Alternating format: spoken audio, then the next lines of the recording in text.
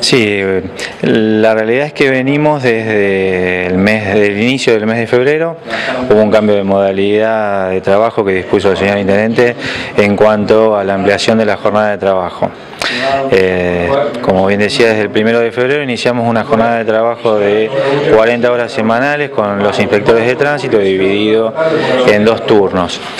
esos dos turnos se complementan desde las 7 de la mañana hasta las 11 de la noche.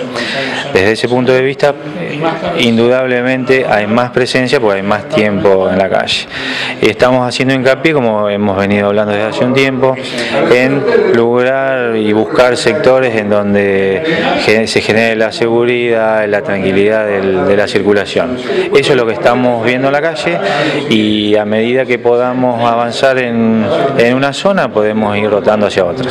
En el tema de las motos, eh, esas ruidosas motos, ¿se, ¿se va tomando conciencia por parte de los jóvenes o es algo que hay que seguir trabajando mucho? Cuesta mucho, cuesta mucho porque el objetivo real del ruido o de la moto modificada es generar precisamente ese disturbio. Es un tema que excede en sí el tránsito en particular, es, es la decisión de generar un disturbio en la vía pública. Por consiguiente, cuando uno genera un operativo o movimientos en una zona, automáticamente van a otra y van rotando porque, y peco por el exceso de la reiteración, pero la idea es mostrar que se genera el disturbio y ese es el efecto buscado. Estamos buscando eso, tratar de solucionarlo, los operativos tienen que ver con eso y lleva más tiempo de lo que uno puede pensar. ¿El número de infracciones se mantiene?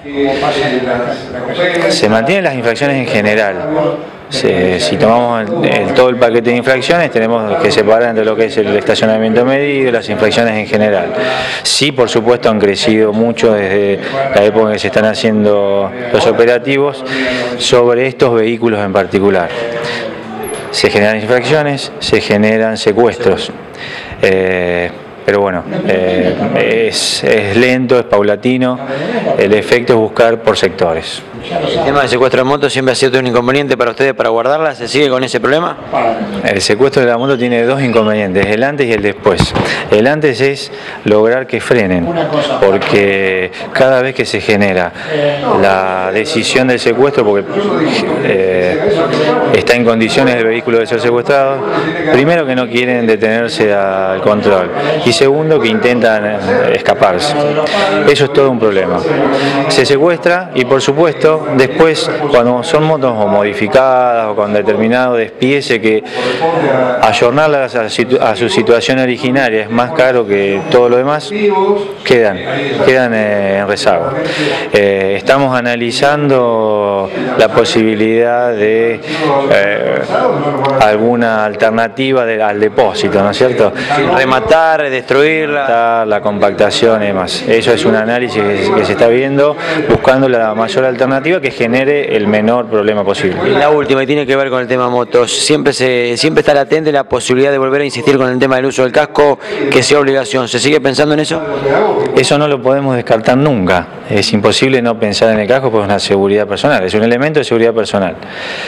Sí es cierto que insistir con un tema de inicio, cuando tenemos problemas eh, más de fondo, eh, genera una distorsión en el control, básicamente. Entonces, creo que eso es, la segunda etapa a la que aspiramos. Eh, nos está llevando, y hay cosas que uno tiene que poner sobre la mesa, nos está llevando un poco más de tiempo de lo que pensábamos. Esta conclusión de la primera etapa, que es generar el control del vehicular de los que estábamos hablando.